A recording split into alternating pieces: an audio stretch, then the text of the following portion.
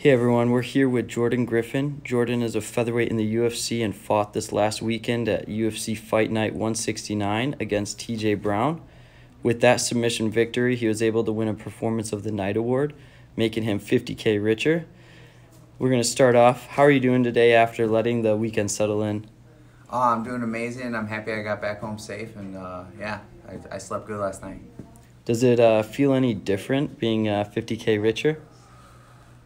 Man, uh, you know what? I don't feel any different. I, I feel I feel very grateful, um, and I don't want anything to change. Uh, my coaches even said they say you know just just you have your jobs back home, just get back to work. You know this is your break. You get a chance to get ahead, and uh, I'm just gonna get back to the grind. So I feel I feel great. Uh, just a second ago, you were telling me that after this, you're actually heading back to uh, your regular job. You're not taking any breaks off. You're going straight back in. Yeah, I got some people that want to come in. They want to get some activations done at T-Mobile today. And so I hit my, my uh, manager up, Carlos, and I was like, hey, can I pop in for a second and get this done? He's like, of course. He's like, you're not going to take a break? I was like, no, man, I got money. I got to make this money. So now that the hard part's over, is there anything uh, that you have planned for the future? Um, you know, it's, it's I had been talking about making that move to uh, 155, but uh, after this last weight cut, which went like really well, um, obviously I'm going to be you know sticking around the 145 division. But if I can tiptoe my way into into the 55 division with the right matchup, I'd like to do that. And then uh, just continue to train, continue to get better, and there's some things I want to work on. So I'm I'm excited. Um, coming into this fight, was there there anything on your mind uh, mentally, or anything that you were overthinking, or?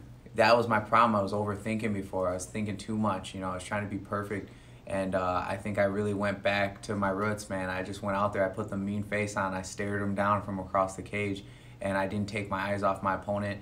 And um, yeah, I, I just got the win. All I want to do is finish. Every single fight, I want to finish. Now, you going to to what you were just talking about, going back to your roots. Can you can you kind of explain that a little bit?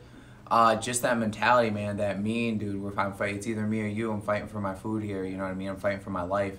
And uh, you know, to, and that night, um, this week, last weekend in Norfolk, UFC Norfolk, I was fighting for my job. So you know, to be able to, to secure my job, to be able to get the fifty thousand uh, dollars bonus, to be able to to progress, man. This is gonna be this is huge for me. I just gotta um, spend this money the right way uh, take care of myself, um, healthy, be healthy, men- mentally and physically, and uh, go get my son, take care of my son, and and man, I'm happy, man. All this means is more time with my family and more time in the gym. So I and you know the gym's family too. So it just means I get to spend more time with people that I love. You know.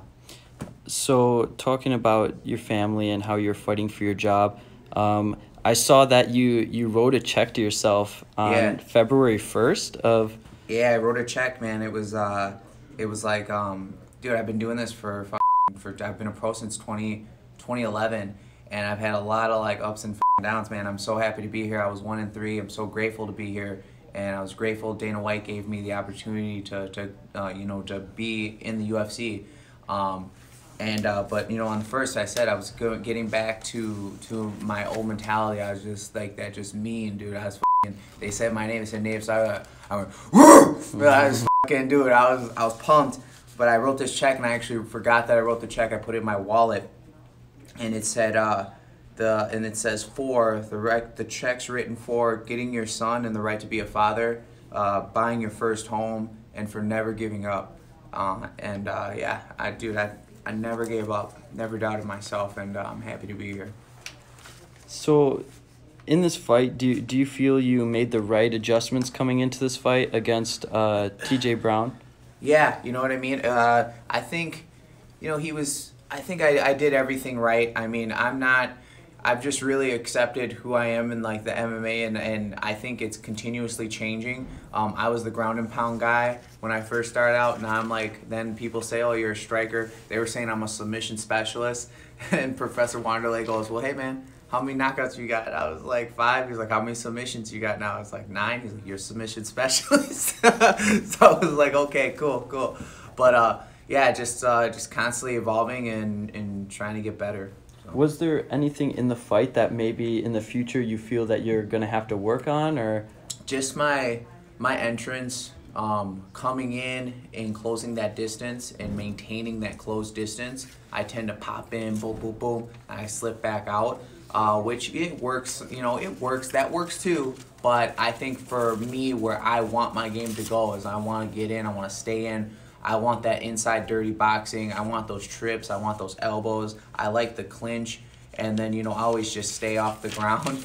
Um, but it, it, it, was cool to see like he got me on the ground. I kept getting back up right away, so it's it's cool. You know, I spent you know damn near you know I spent a good amount like six months working with or even more than that working with uh, Raufeon Stots.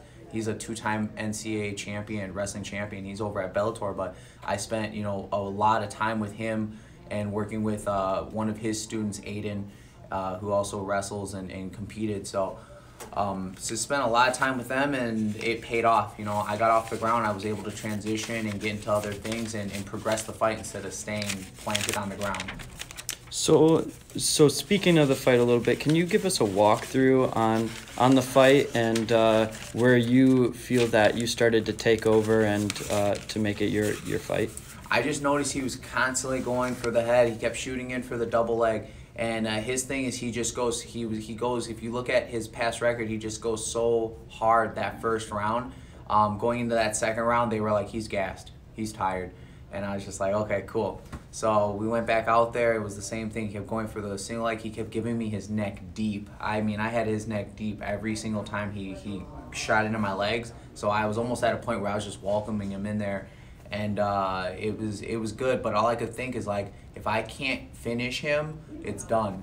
Like I need to finish this dude. I need to I need to put him out. So when when I had it in there real deep like that, and I held it, I actually stopped squeezing and I just held it there, and I was waiting for the judge to just like like hey like you know I'm done. I'm not letting go until you tell me so.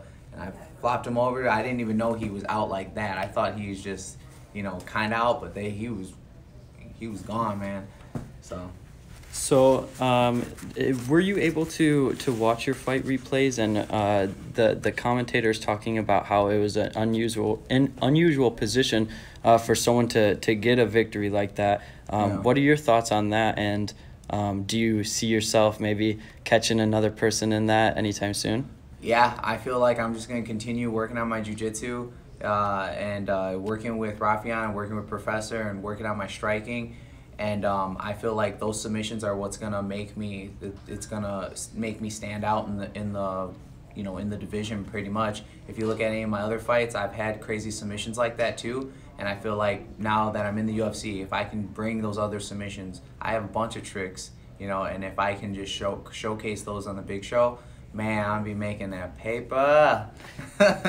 so now now getting this win, do yeah. you you have any plans for the future? Do you have anyone you're eyeing out in your division? Uh, no, not yet. I mean, it, I, it's it's nice, you know. I, I, I really not yet. I just need to build my way back up. So I mean, I got this win. I'd like to go on a steady win streak. Um, build, you know, just build myself up, and then you know whoever they offer. Every person in the UFC is hard. So whoever they give me, I'm just gonna I'm gonna watch the video. We're gonna talk about it with the coaches, and then I'm just gonna prepare for that person, and uh, you know get a couple wins in, and we can start talking about top ten in the world and stuff like that. So hopefully I can get at least two more fights in this year. I got an earlier fight in. You know it's March.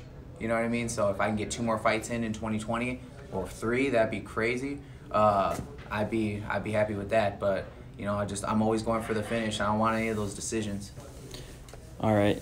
So uh, b- previously, before this, uh, before we started recording, you were talking about in the future you're you're planning on running uh, your own YouTube channel. You want to kind of explain what what your purpose is there and what you plan on doing with that. So after I made to the UFC, um, you know, I I, I think like jujitsu a lot for saving my career. Um, you know, I was one in three when I started.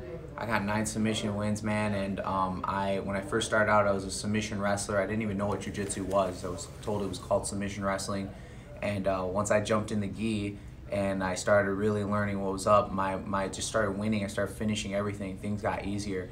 And um, after I got into the UFC, I came back to Roufusport and I asked Duke Roufus and Professor Wonderly, I said, hey, can I, can I help teach Jiu-Jitsu? Because I just wanted to learn more. I wanted to be on the mats. I wanted to teach people and, and I wanted to learn while I'm teaching people how to adjust different body types, um, different moves, uh, different transitions in and out And so I've been able to do that over this last year. Very thankful. Um, unfortunately, I lost my UFC fights, and that was kind of a distraction. But I still focused on my studying because this is a job. I studied, studied, studied, and um, now I'd like to start a YouTube channel called Professor's Assistant. So you know, my name is Jordan Griffin, aka Native Psycho, and I'm here at Combat Corner. And I'd like to start something called uh, Professor's Assistant on YouTube later on this month. All right. Big thanks to Jordan Griffin for coming in and sitting down with us and going over his uh, fantastic victory over the weekend. Uh, be sure to keep your eyes peeled for upcoming sponsored athlete fight news and videos. Also, make sure to follow us on all of our social media accounts at Combat Corner Professional on Facebook and YouTube, as well as Combat Corner on Instagram and Twitter.